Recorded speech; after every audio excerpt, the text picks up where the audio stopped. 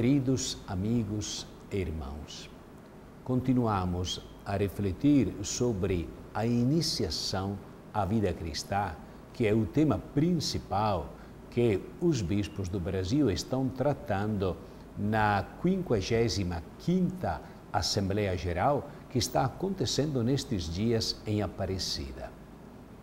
Aliás, é importante acompanhar este encontro dos nossos bispos com a oração. Reze por nós, bispos, que estamos reunidos em Aparecida. Nós vimos como Jesus, ao encontrar a mulher da Samaria, inicia uma conversa com ela, a partir da sede, da realidade da água, da complexa aventura da vida daquela mulher e de sua sincera busca de Deus. Fundamental no processo do diálogo foi provocar na samaritana o encontro pessoal com ele, suscitando nela a pergunta sobre se ele seria o Messias.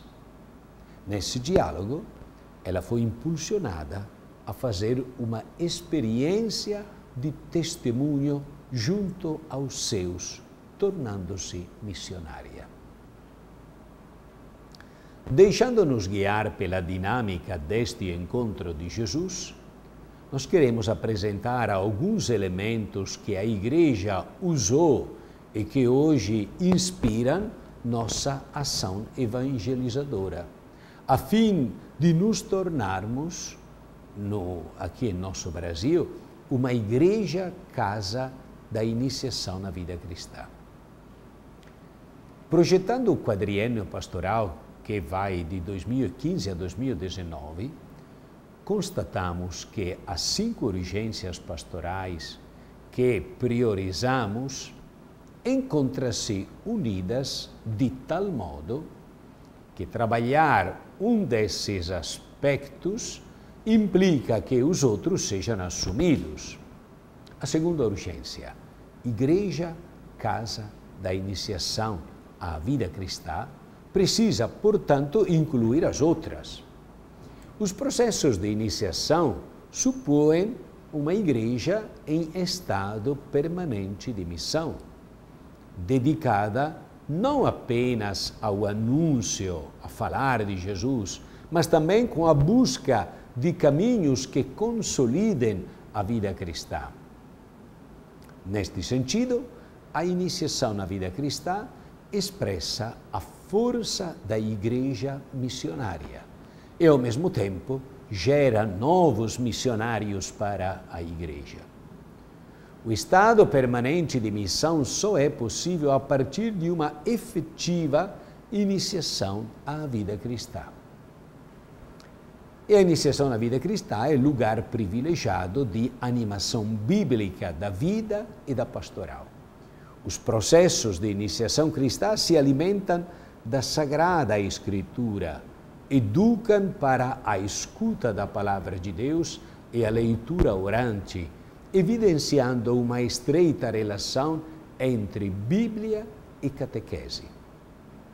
A Igreja, comunidade de comunidades, é quem realiza a iniciação na vida cristã. É ela que acolhe, orienta e gera novos filhos e filhas e promove a fraternidade entre eles. É dela e em seu nome que os agentes da iniciação na vida cristã recebem um mandato eclesial para introduzir o mistério de Cristo Jesus e da sua igreja. A comunidade eclesial é o lugar da iniciação à vida cristã e da educação da fé dos adultos, dos jovens, adolescentes e crianças. O Evangelho da vida está no centro da mensagem de Jesus. Por isso, a missão dos discípulos está a serviço da vida plena para todos, que é a quinta urgência.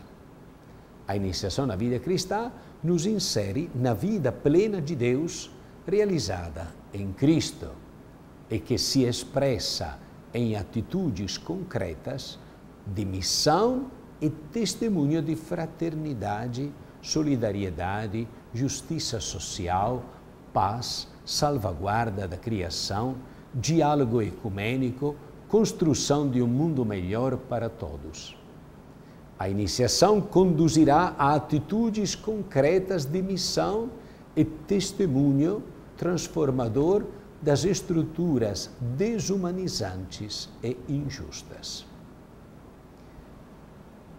A iniciação na vida cristã é uma urgência que precisa ser assumida com decisão, coragem e criatividade.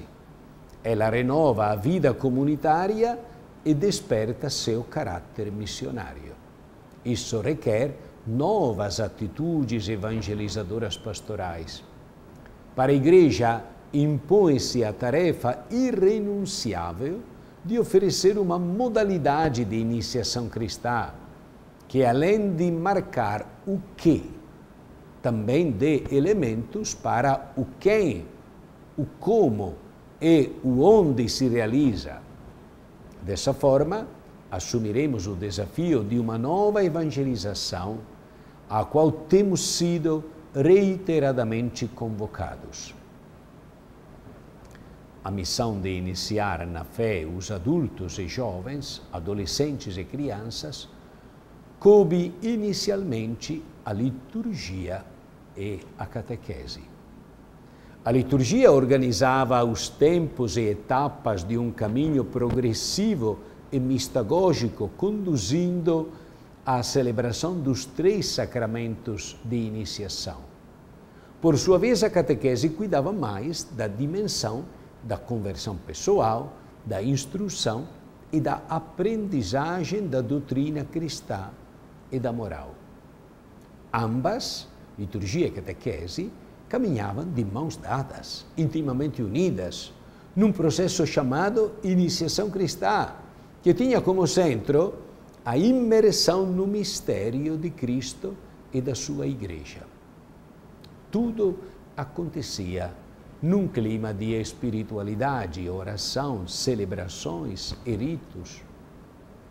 O segundo e mais longo tempo, o catecumenato, dentro do qual nasceu a catequese, passou a denominar todo o processo iniciático.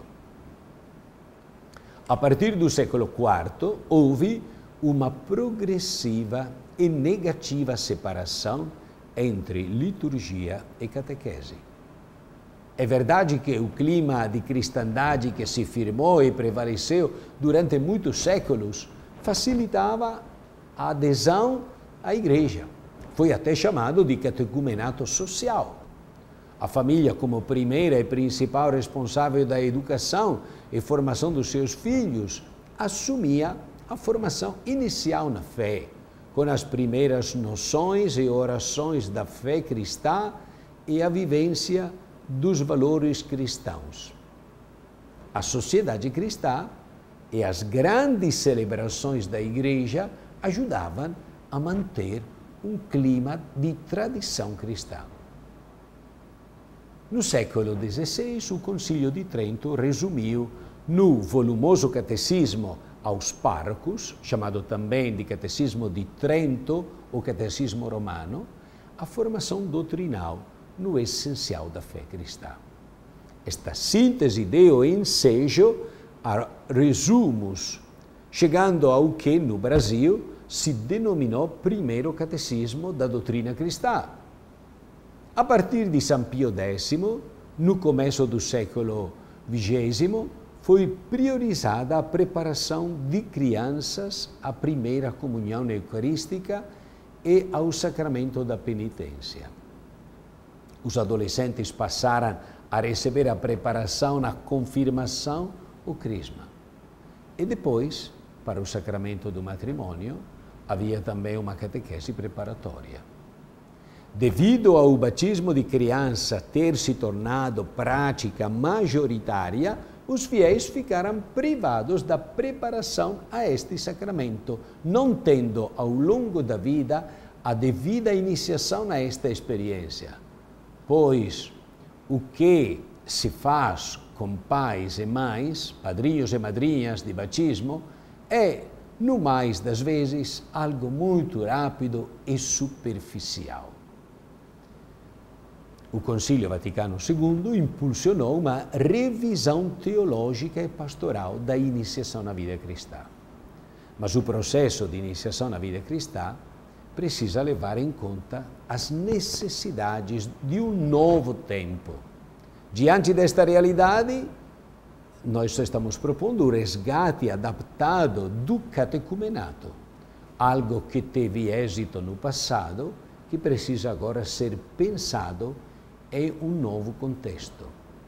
A ênfase, então, precisa ser colocada mais no caminho catecumenal do que no seu esquema formal fechado e dividido em quatro tempos sucessivos e a sua centralização na recepção dos sacramentos da iniciação cristã. Cada situação pode exigir novas formas de levar adiante o processo de iniciação. Que Deus abençoe a todos em nome do Pai, do Filho e do Espírito Santo. Amém.